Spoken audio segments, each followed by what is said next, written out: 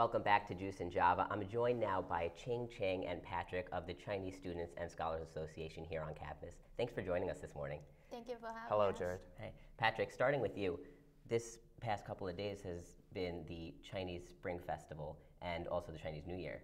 Talk about, a little bit about what that is. Chinese Spring Festival is basically like a festival similar to Christmas to the Western countries.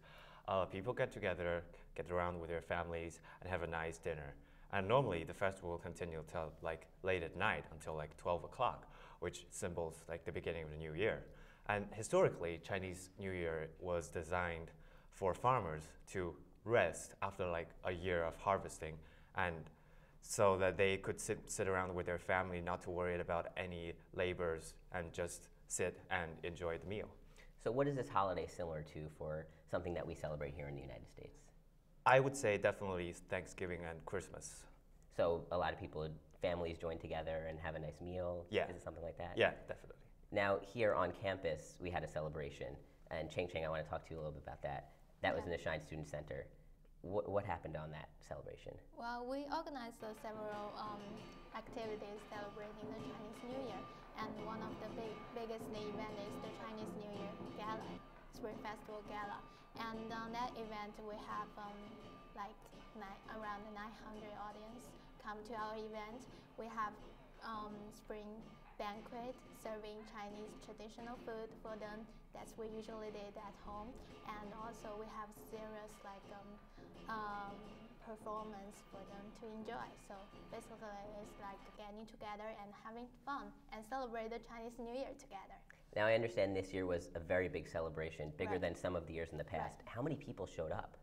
Uh, yeah, 900, around 900. And also we have some special guests like the Vice Chancellor, uh, Chancellor um, Eric Spin- Spina, and also uh, the Dean of Maxwell, and a lot, lot of uh, professors and uh, Chinese faculties.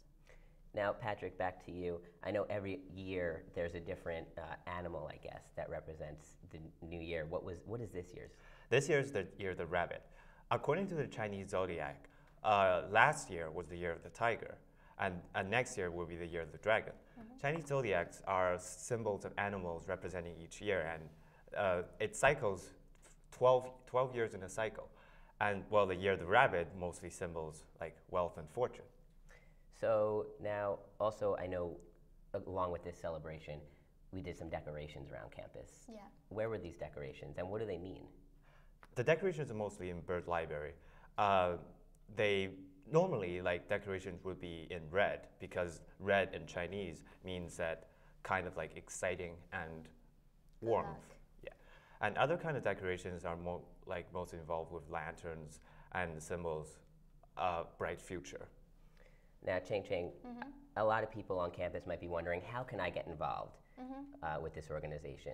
And do I have to be Chinese? Can I be, you know, another ethnicity or nationality to get involved?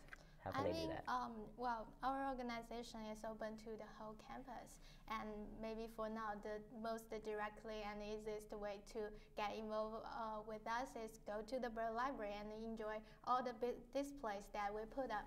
And uh, furthermore, we also have a series of other activities going on, like um, the Chinese um, books collection program that we were gonna have a long-term um, cooperation with the bird library.